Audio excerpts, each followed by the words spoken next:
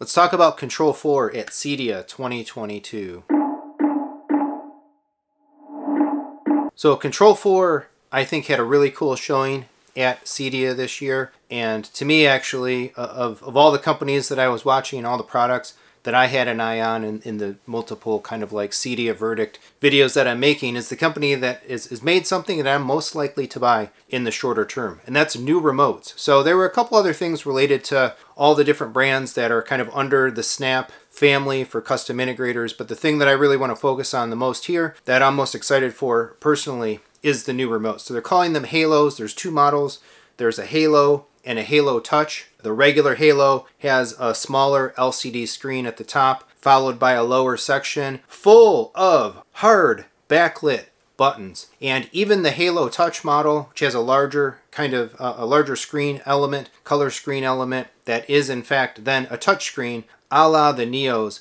But the, the, the amazing, amazing improvement is it comes with a larger regiment of physical hard buttons. I've had these in the house for a while now. I don't remember. I got the, the Neos. Uh, I, I, bought two of them right when they came out. Um, so I've had them the, the entire central life cycle that they've been under the Control 4 banner. And I have to say that I have a mixed relationship with these. I think they, they generally feel nice. I love, they feel high end. The aluminum, the touchscreen elements, and all of that are cool. But I think the Neo was a miss in a lot of ways. This unused section down here really should have had transport buttons and just using the touchscreen, I, I think relying too much on a touchscreen for remote control fails. A remote control is something that you want to be able to pick up, navigate without looking at it necessarily with your thumb, find things, the common controls that you're looking for, and you know, command and control and interact with your devices. And I really can't do that for most of my devices with this remote. With the Apple TV, you can kind of cheese it and get away with a few things because the, the up, down, left, right and the OK button work for play pause and so on, but for Kaleidescape and other things, it doesn't. You have to go to the touch screen. So generally speaking, when I want to do something, I got to pick this thing up, I got to wake it up, I got to shuffle through some different menus and find the control I'm looking for, then I can finally press it. It's a total pain. Not to mention, these things haven't really lived up from a reliability and a durability perspective. The one in our living room, it hasn't lived up to durability. This one actually ghosts. There's a lot of image retention on the screen. I was actually just recently talking to my custom integrator dealer friend Dan DeCarlo at AudioVision about what to do. Can we get a replacement? Is there still any warranty or whatever? But then Control 4 went and made the whole Neo a moot point. So I'm super excited about the Halos. I think it's kind of the perfect middle ground, I hope, between the older like SR260, which was all hard buttons essentially, and a, and a little bit of, of display at the top, and the Neo, which again went too far into the realm of requiring touch. So I don't know which ones I'm going to buy yet. I hope to get my hands on both with Dan as soon as he's able to get a hold of them, bring them over, check them out, do some content around them. But I, I think I very much see, hopefully, a Halo remote replacing the Neos, both in the living room and in the theater in, in relatively short order.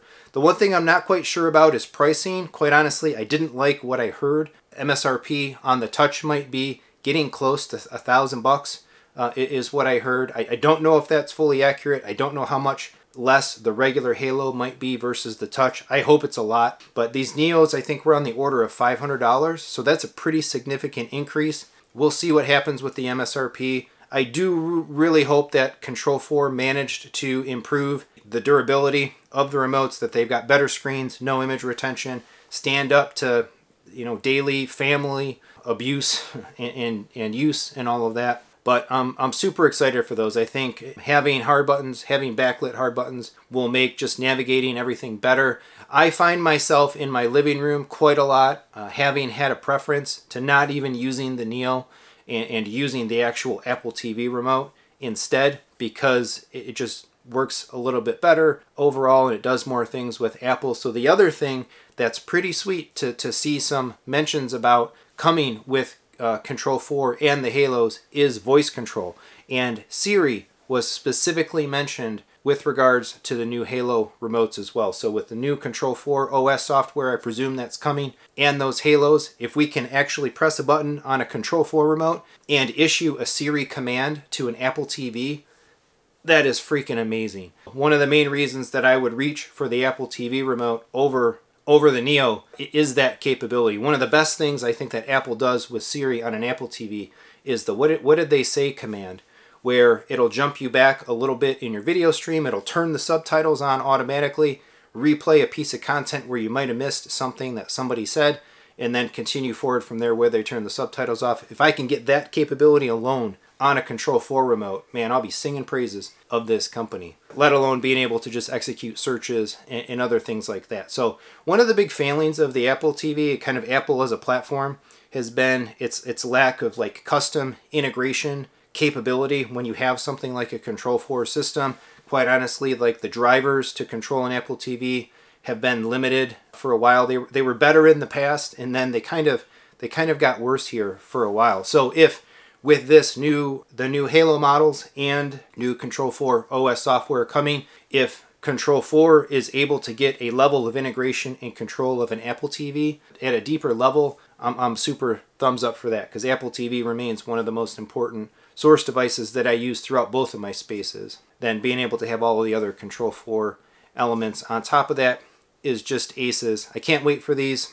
Again, I hope the price is right. I hope the durability and build quality, stability is up there, and I hope all of these extra control voice in, in all of it lands like super strong. I'd actually been playing around a little bit lately with an Amazon Echo Flex. I only kind of just started scratching the surface with this. I was hoping to try it out for voice control with Control 4 in my room, as well as even playing around with like Homebridge on my Synology on my Synology NAS and trying to set up maybe some Apple-based voice control of Control 4. Now all of that's just kind of like uh, the little bit of effort I put into it anyway might be just completely wasted and rendered moot by these new remotes directly. So they can't bring these things to the market soon enough. I hope we're not waiting until like spring of 2023 to get them. As with most pieces of technology, the shorter the, the runway between announcement and customer availability, the better. Stay tuned to the channel and for sure, one way or another, whether I, I buy them, which one I buy, I do hope to be able to cover both of these in depth. I think the, the, the remote control uh, is such an integral part of a control system choice. It really makes it, it, it's the frontline device through which a lot of the interaction with the control system is done, takes place in all of that. So it's super, super important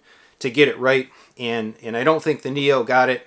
The Halos though, I'm hopeful. I'm really, really hopeful again, making me very excited about some Control 4 prospects coming forward. You use Control 4, you buy in a whole, whole, whole block of Halos as soon as you can get your hands on them. What do you think? Are you in for the regular? Are you in for the touch? Why or why not? Which one? Sound off in the comments. If you have any questions about Control 4, let me know what you would like to see me cover with regards to control systems and automation and all that going forward. Otherwise, please do all the regular YouTube stuff. Like, subscribe, hit the bell for notifications.